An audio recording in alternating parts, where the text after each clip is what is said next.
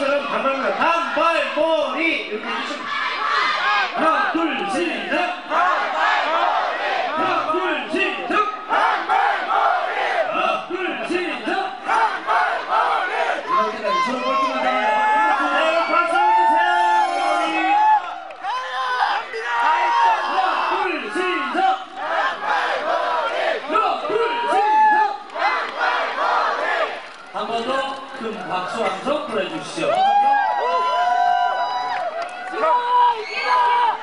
with us!